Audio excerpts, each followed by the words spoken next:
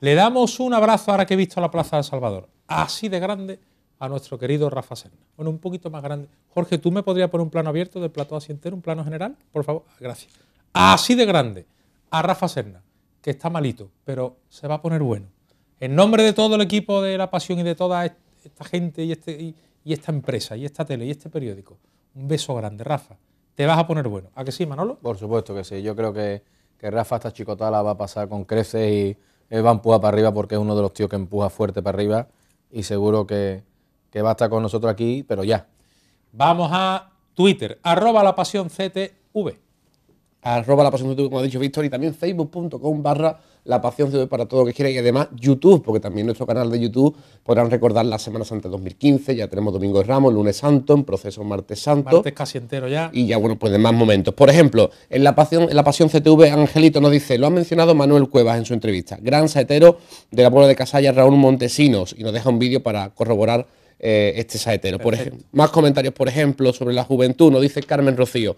Todas las hermandades deberían apoyarse y apoyar a la juventud, ya que en ellos está la semilla del futuro. Eh, Álvaro García, sobre quién debe de fomentar la restauración de nuestras iglesias la Junta, las hermandades, la Iglesia, el Ayuntamiento, y nos dice, dice entre los tres claramente, dividirse los costes un 30% por el Ayuntamiento, 35 Arzobispado y 35 las juntas de cada localidad. También nos dice CRO sobre la, juventud, si se implica da igual la edad, muchos jóvenes tienen la cabeza mejor amueblada que otros mayores. Y también sobre el mundo del costal, la patrona de capataz y costalero nos dice Alejandro Daza. En el mundo del costal, bajo mi punto de vista, hay mucho postureo. No conocer a la patrona es una falta de respeto. Mercedes, siempre Mercedes, la de la Puerta Real. Aquí tengo la pulsera que usted por un euro puede conseguir en el estanco de la Puerta Real y echa una manita. Les recuerdo que el jueves tenemos quedada y pretendemos llevar una huchita por si usted quiere colaborar con las Mercedes de la Puerta Real que están ahí pasando un achuchón. Hay que empujar. María Mena, cuéntamelo. Pues los titulares de la Hermandad de las Mercedes de la Puerta Real ya se encuentran en la capilla de las Siervas de Jesús sabemos que hubo el traslado eh, en la pasada semana por eh, motivo de las obras que se van a realizar en esa capilla debido al mal estado en el que se encontraba. La semana pasada lo veíamos y ahí tenemos también la cuenta en la que podemos ayudar a esta hermandad a, colaborar para poder terminar, eh, poder pagar eh, eh, las obras que se van a hacer en esta capilla. Sobre las ocho y media de la tarde comenzaba el traslado. El acto se hizo eh, con rapidez y con la participación de varios hermanos, también portando cirio, también un cuerpo de acólitos y, por supuesto, la Junta de Gobierno. Y las hermanas de la, de la comunidad de las Siervas de Jesús esperaban a esta Virgen con su fachada principal engalanada completamente y a la llegada pues le tiraron también una petalá antes de que la imagen entrara por la puerta y una vez dentro, también colocada en la capilla de las hermanas pues aplaudieron eh, de forma muy enérgica por la llegada, porque bueno, eh, decían que estaban muy contentas con, la llegada de esta Virgen y también, por supuesto, del Cristo de la Redención que permanecerá en las dependencias de las hermanas, como ya estamos viendo aquí, cuando entró, y también recordar, por supuesto, como hemos dicho antes, la cuenta de banco en la que pueden ayudar a esta hermandad a terminar, a comenzar también eh, las obras en, la casa, en, tanto en la Casa Hermandad como en la iglesia, que hacen mucha falta, ya lo vimos la, semana pasada, también con el hermano mayor que estuvo aquí con nosotros, el estado en el que se encontraba tanto la capilla como, la Casa Hermandad y es necesaria eh, esa ayuda que les le podemos brindar. Hay que echar una manita ahí, ¿eh? por favor, si buenamente puede, yo que sé, con una moneda nos vale, vamos a intentar el jueves también llevarle una huchita con algo de dinero a estos hermanos de la Puerta Real en un momento difícil y complicado. La Virgen del Dulce Nombre todavía no, guapísima de Castillo Lastrucci. El San Juan, a restaurarse. ¿Tiene más datos Nacho Sánchez? Efectivamente, visto el pasado miércoles, la Hermandad del Dulce Nombre retiró del culto a la imagen de San Juan Evangelista con, el cierre de la parroquia San Lorenzo, todo ello para ser restaurado en la próxima fecha debido a su delicado estado de conservación. La imagen permaneció situada a los pies del altar de la Virgen del Dulce Nombre antes de ser retirado del culto. Carmen Baima será la encargada de la restauración que durará cuatro meses y medio aproximadamente. Las partes más dañadas, el mal estado de la policromía, el alto número de fisuras por todo el cuerpo y la revisión de una posible aparición de entes externos a la madera. Unos trabajos que ya se suman a los realizados con Jesús Antaná en los meses previos a la cuaresma y de, este, próximo año, este próximo año y que servirán de puente de cara a la última gran restauración que será afrontada tras la llegada de San Juan, la de la Virgen del Dulce. El día 6 de julio regresa la Virgen del Carmen de Santo Ángel tras su restauración estaremos muy atentos. ¿Y la Virgen del Rosario de Montesión? ¿Qué va a pasar con esa posible restauración? ¿Tiene más datos Manuel Esteban? Dale. Pues sí, estamos hablando también de restauraciones. Es un año de, restauraciones y bueno, la Hermandad de Montesión está llevando a cabo y se permanece inmersa en el proceso de estudio y preparación de la restauración de la Virgen del Rosario. Eh, se a iniciar este proceso aproximadamente en noviembre, eh, tras, la finalización de los curtos, Víctor. Estos trabajos tendrán un proceso que, bueno, que durará entre dos y tres meses y estará bajo la supervisión de, bueno, qué, mejor manos que las manos de, Pedro Manzano, que ayer, bueno, pues nos saludó y nos dio recuerdos para este equipo. lo que más lo que va a basar este trabajo va a ser más que nada en las labores de, limpieza y fijación de la policromía, puesto que se ha visto de que hay algún, algún fallo en, la misma. Eh, desde el 2012 la Junta de Gobierno de Montensión ha sido consciente de este hecho y que debía hacerse esta restauración tarde o temprano. Se le han hecho informes como el que se realizó por el Instituto Andaluz de Patrimonio en el 2012, un TAC que también de propio, del propio de Pedro Manzano y sobre todo, Víctor, pues una vez que termine eh, los cultos de noviembre, va a ir al taller de Pedro Manzano y el cabildo, para no equivocarme, es el día 28 a las 9 de la noche, tendrá lugar el cabildo de extraordinario. Gracias, Manolo. Estamos en directo en La Pasión, el Correo de Andalucía, televisión, hablando de lo que más nos gusta. ¿Qué va a pasar con Santa Catalina? ¿Cuántas veces pasa usted, como hacemos nosotros, por Santa Catalina y ve que aquello sí, pero no? ¿Qué ocurre con Santa Catalina? María.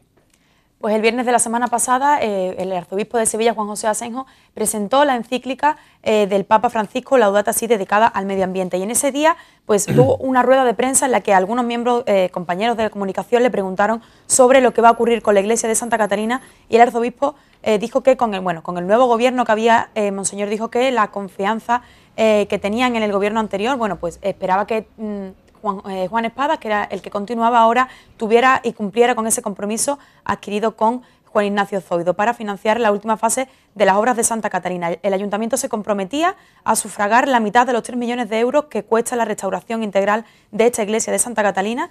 Y bueno, el arzobispo Juan José Asenjo dijo que si no fuera así, aseguró eh, además con estas mismas palabras que la diócesis va a terminar Santa Catalina, aunque sea sin la ayuda de las instituciones públicas, y también añadió que en este caso, si habría que pedir un crédito, pues el arzobispado se endeudaría para poder terminar Santa Catalina. Importante, ¿verdad?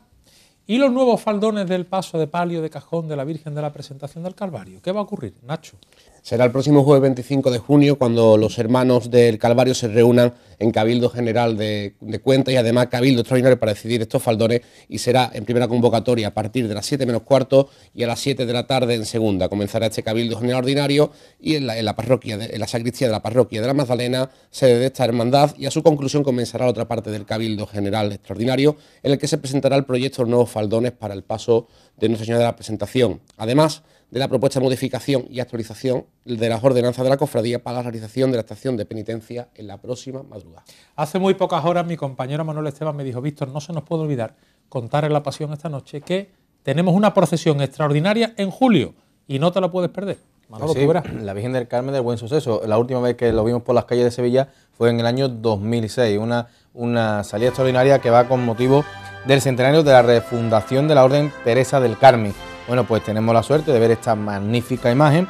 Eh, bueno, tendrá dos salidas, porque digamos así que irá hasta el convento de clausura de las Carmelitas de la calle Santana, donde se celebrará Eucaristía. Eh, la primera será a partir del día 18, a partir de las 8 de la noche, y después el día 19 regresará después de la ceremonia que dará comienzo a las 7 de la tarde. Bueno, pues eh, las andas donde va a ir, va a ir en las andas de la Hermandad de la Salud de San Isidoro y el capataz que va a ir al frente de, este mismo paso va a ser eh, José González Mesa, que es el, que, el encargado de llevar el Nazareno del Valle. Libro cofrade, hay que ver lo que me gusta a mí un libro cofrade, ¿eh? tengo gracias a Dios mucho. Y, por ahí se aprende mucho. Si tienes inquietud para ir aprendiendo de cofradías, cosas que hay que comprar libros cofrades o hacerse con ellos, si no lo puedes comprar, pídelo. Eh, y es muy interesante leer. Leer todo lo que se pueda hay que leer. María Mena, Santa Marta.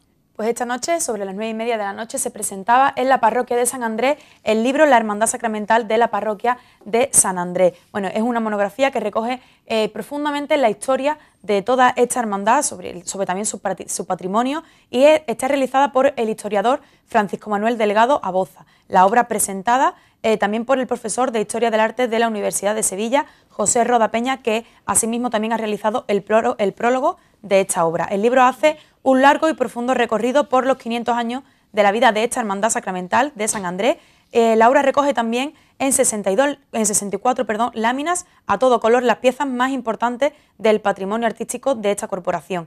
Eh, esta publicación cuenta también con el patrocinio de la Delegación de Fiestas Mayores del Ayuntamiento de Sevilla y la Fundación Cajasol y ve como luz, eh, la luz como, como colofón a los, a los actos conmemorativos del quinto centenario de esta hermandad, de la Hermandad de Santa Marta.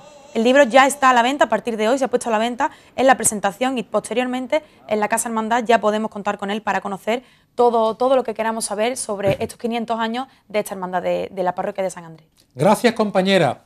Eh, ¿Qué tienes por favor tú o tu empresa para poder regalar para una tómbola? Una tómbola importante que van a celebrar los hermanos de Madre de Dios del Rosario y les hace mucha falta regalos. ¿Qué regalos tienes tu empresa? ¿Qué puedes dar? ¿El libro, muñeca, qué sé yo? Cualquier objeto que pueda ser susceptible, camisetas, de ser balones, de ser sorteados en una tómbola. ¿Tenemos unos teléfonos, Manolo? Pues sí, eh, aquí el hermano mayor, Carlos Villanueva nos ha dado una serie de teléfonos que aquí lo estamos viendo visualizado en pantalla para que se pongan en contacto todo aquel que pueda colaborar. Estamos, como dice Víctor, sean camisetas, llaveros, bolígrafos, pines, lo que sea, todo lo que sea para que, bueno, que a cambio de una papeleta que será premiada, pues la hermandad de Madre Dios de Rosario pueda eh, sufragar esos gastos que, bueno, que la verdad para una hermandad de gloria, pues son muchísimos y es importante eh, la acometer la restauración de, de una casa hermandad. Lo ha comentado aquí Carlos Villanueva y ahí tenían esos teléfonos. Si no tomaron nota, lo está repitiendo Jorge Jiménez. Muchas gracias compañeros, están ahí, aguantamos un poquito más para que tú puedas tomar nota, lo que sea susceptible de ser rifado en una tómbola. Le hace falta a los hermanos de la patrona, como le hace falta, y se ha dicho aquí, que si eres costalero te acerques, te interese. Luego te podrás hacer hermano o no, pero interésate. Si tú o tu empresa puede dar algún regalo, por favor, aquí están los teléfonos y aquí está este equipo. Eh, puedes escribirnos a través de las redes sociales, de Twitter, de Facebook o llamar a esos teléfonos que has visto. Muchas gracias. Eh, Twitter, que nos vamos rapidito ya, venga. Arroba la pasión CTV, hasta la pasión no acaba, nos dice Curro Rodríguez sobre Manuel Cueva. Me gustaría verle cantar a la Virgen de la Soledad de Pilas en su entrada. Eh, Manuel Pedroso nos dice, Manolo, canta una saeta a la Virgen de Guadalupe. Y sobre el tema de la iglesia, la Junta, el Ayuntamiento, nos dice Cro, ¿y por qué no los tres juntos? Mano a mano sin pasar la pelota de, tejado. Es lo que nos dice Cro sobre, bueno, pues todos a una para ayudar a, la eh, reconstrucción, restauración de nuestra iglesia, no solo Santa Catalina, sino, por ejemplo, la Puerta Real, que sin duda, bueno, pues es un gran tesoro que tenemos en Sevilla. No está mal visto. Vamos a saltarnos JJ al vídeo porque no me va a dar tiempo a que veamos ese vídeo que había preparado, lo vemos mejor la semana que viene. Vamos a recordar primero que el jueves tenemos una cita importante. María, vamos a recordar despacio, ¿eh? ¿Qué tenemos que hacer el jueves y por qué? Venga. Pues el jueves tenemos... Ya por fin, el jueves por, por fin. esperemos que sí, que se haga para adelante. Tenemos la quedada cofrade eh, será este jueves, como bien hemos dicho, 25 de junio, sobre las 8 y media de la tarde, en la, eh, la cervecería La Grande, en López de Gomara, junto al Instituto Becker. Allí esperamos a todos los cofrades que quieran echar con nosotros un rato, con el equipo de la pasión y todo el mundo que quiera compartir con nosotros y bueno, hablar de, como siempre dice Víctor, de lo que más nos gusta, de las cofradías y pasar un buen rato, por supuesto, entre todos juntos y comentar todo lo que queramos eh, conocernos y bueno, eh, estar más cerca también de nosotros, ustedes del equipo y el equipo también de todos los cofrades que quieran participar con nosotros. Es que hay otros miembros del equipo de la pasión que, ¿verdad? Que habitualmente no aparecen aquí en la tele. Pero también están, por supuesto. En las pantallas, pero que los vamos a ver, los van a conocer ustedes. Ahí están viendo algunos. Ahí está Manu, está María, María Batelli, nuestra chica y Batelli.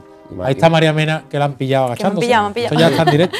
la han pillado. Es que si no la riñen. Cogiendo un papel. es, que me, es, que me, van a reñir. bueno, el jueves, Manolo, ¿por qué hay que estar allí? Bueno, porque vamos a hablar primero, vamos a hablar de Semana Santa, vamos a hablar de la pasión y porque podemos aportar y podemos ayudar a Madre de Dios de Rosario, porque el que quiera llevar los regalos, nosotros nos encargaremos, si hace falta, de llevarlo a la calle Pureza, que no nos cuesta ningún trabajo y porque tenemos que ayudar también a las Mercedes de la Puerta Real.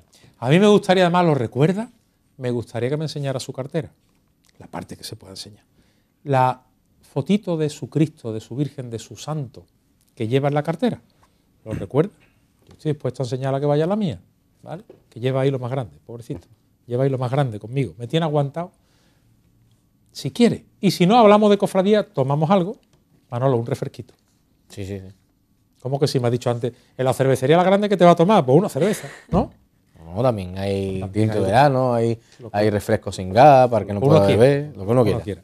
Nacho, ¿por qué hay que estar el jueves en la grande? Porque hay que conocer a los tuiteros que siempre están cada semana con nosotros. Y claro, a mí me pues, encanta eso, conocerlo. Del 2.0 pasemos al 1.0 y hablar, ¿no? Y hablar de lo que más nos gusta y que es lo que hacemos todo el año, hablar de cofradía. Venga, pues vamos a ir despidiendo el programa, que me están riñendo. ¿Han escuchado ustedes que me han reñido? Me acaban de reñir. Hay que ir metiendo la cofradía. Nacho, un tuit rápido, último. Ali nos dice, y qué verdad es que la pasión no acaba. Deseo que llegue el martes solo para escucharos. Un gustazo. Gracias, compañero, por todo. Muchas gracias a ti, Hasta Víctor. el jueves, porque nos vemos el jueves. María, hasta el jueves, ¿no? María, hasta el jueves. Tienes sí. 20 segundos, María. 20 segundos. A ver, como también lo dije la semana pasada, pues el, el 25, 26 y 27 pues, de jueves, viernes y sábado de esta, de esta semana eh, comienza la velada de Santa Marina en la calle San Luis, en el Colegio de la Salle La Purísima. Como, eh, como dije también, pues bueno, es una, eh, un momento benéfico porque estamos allí durante estos tres días, como pueden compartir con nosotros un buen rato con actuaciones. eh, y bueno, eh, el- todo lo que se destine en, en estos tres días irá para las monjas de- del María, hasta el como jueves. solemos hacer. María, hasta el jueves. Hasta el jueves, Víctor. Adiós. Manolo, hasta el jueves. Bueno, yo una cosita, mira, eh, un par de cositas, Víctor. A un compañero, Fernando López, un, un gran seguidor nuestro de La Pasión, que está hospitalizado en cardiología, que tiene que pasar un pequeño trance. Eh, a mi sobrino, que ha aprobado, ha aprobado con sobresaliente educación física, y el que me conozca sabe que le ha costado trabajito. El jueves, en la Casa Hermandad de Sevilla, eh, eh, se, va, se va a abrir el bar de la Casa Hermandad de Sevilla para las colonias también. Ahí vamos a hacer un reportaje también para esas hermandades que llevan a esos niños en verano y que hacen una labor importante Manolo, para hasta esos el niños. jueves. Ah, vale, pues nada, hasta el jueves nos vemos. Hasta el jueves. Y ahora San Esteban en El Salvador. Y justo después La Paz. ¿Recuerdan la salida extraordinaria que esta casa ofreció la salida, bueno, la entrada, la misa en el parque? Qué maravilla, ¿verdad? Pues eso después del informativo está pasando. Pero primero nos despedimos con San Esteban en El Salvador. Nos vemos el jueves, será en la quedada Cofrade. Gracias por todo. Sean felices.